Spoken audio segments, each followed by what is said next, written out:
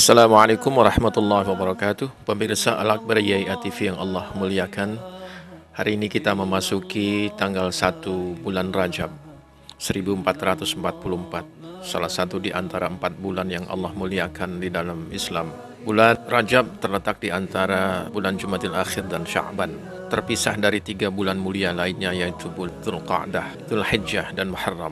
Banyak amalan-amalan yang sangat dianjurkan bagi kita sebagai umat Islam untuk laksanakan di dalamnya. Dalil-dalil yang berkaitan dengan keutamaan bulan Rajab banyak terdapat di dalam Al-Qur'an dan hadis-hadis Rasulullah sallallahu alaihi wasallam.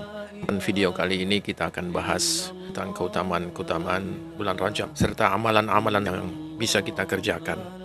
Semoga kita bisa memanfaatkan keberadaan kita, kehidupan kita hingga memasuki bulan Rajab ini dengan sebaik-baiknya sebagai bekal kita menuju alam keabadian, alam setelah kita dipanggil kembali oleh Allah yang menciptakan kita, yang memelihara kita, yang memenuhi semua kebutuhan-kebutuhan kita. A'udzu billahi minasyaitonir rajim. Bismillahirrahmanirrahim.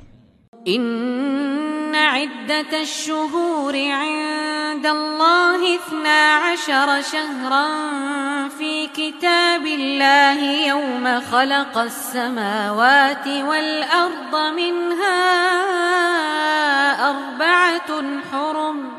ذلك الدين القيم فلا تظلموا فيهن أنفسكم.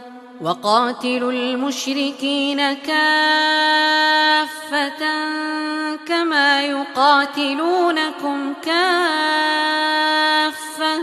واعلموا أن الله مع المتقين Sesungguhnya jumlah bulan menurut Allah ialah dua belas bulan.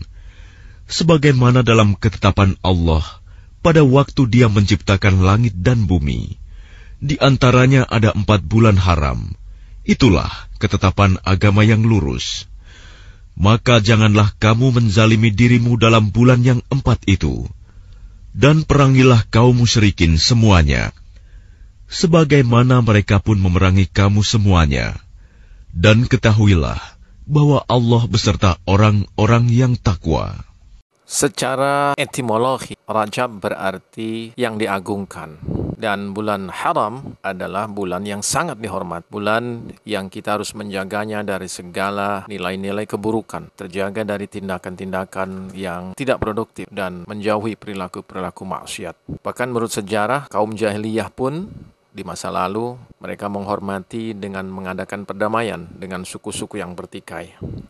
Ketika kita memasuki bulan Rajab, hendaknya kita memperbanyak amal-amal soleh dan menjauhi segala perbuatan-perbuatan yang berbau maksiat, melanggar perintah Allah, dan melakukan hal-hal yang Allah larang.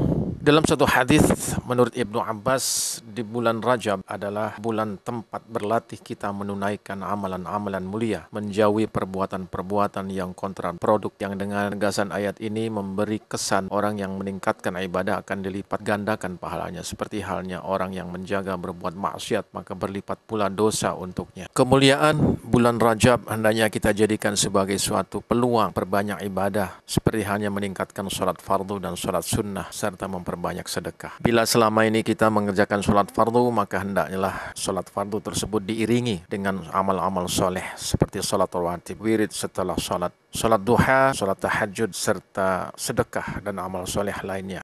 Membagi ilmu pengetahuan yang bermanfaat seperti menyebarkan atau share ayat-ayat yang memotivasi itu juga suatu perbuatan yang sangat bermanfaat dan itu dianggap sebagai ibadah. Di bulan Rajab ini kita harus secara maksimal berusaha menanggalkan perbuatan-perbuatan negatif, pikiran-pikiran yang tidak baik dari pandangan kita, dari pendengaran kita, dari pikiran kita, dan kita menjaga lisan kita dari hal-hal yang tidak berguna yang kita keluarkan. Tidaklah perselisihan apa pun bentuknya dengan seseorang, kelompok tertentu kita sudahi dan hikmah dari latihan di awal bulan Rajab Ini pada puncaknya adalah nanti kita ketika menghadapi bulan Ramadan. Bulan Rajab hakikatnya adalah pembuka dari masa peribadatan yang akan kita temui puncaknya pada bulan Ramadan. Selain memperbanyak sholat dan sedekah, pada bulan ini kita dianjurkan untuk memperbanyak puasa. Kita dianjurkan untuk memperbanyak puasa di bulan Rajab ini karena puasa memiliki hikmah untuk meningkatkan ketakwaan kita kepada Allah, meningkatkan ibadah sekaligus berlatih mencegah segala hal yang dilarang oleh Allah dan Rasulnya. Rangkaian ibadah yang dilakukan pada bulan Rajab merupakan suatu latihan untuk kita menantinya lebih siap